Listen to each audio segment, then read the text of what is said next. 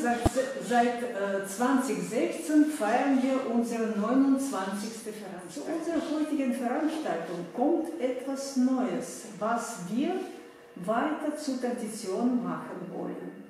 Anstatt Musik, die viele andere Vereine zu ihren literarischen Abenden hinzufügen, haben wir uns auf eine kleine Vernissage entschieden. Heute stellt ihre Arbeit Natalia Buchanski vor. Geboren wurde sie in St. Petersburg, damals Leningrad, 1982 Diplom für künstlerische Raumgestaltung, dann später Diplom für Textilmaterial, äh, für, für Textilmalerei und Studium im St. Petersburger Regeninstitut der bildnerischen Künste mit dem Diplom für Kunstwissenschaft.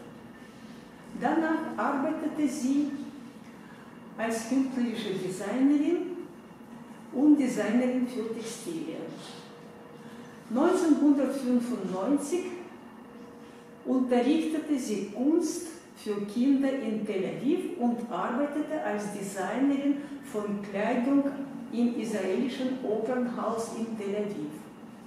Im Jahr 2008 heiratete sie und reiste mit ihrem Mann nach Österreich. Sie lebt und arbeitet in Baden.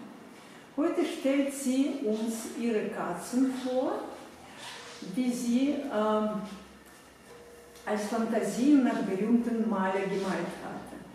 Da ist Picasso, da ist, wer ist das? Nathalie, wer ist das? Das ist Kiss Van Dongen, Van Dongen, das ist Hundertwasser und das ist.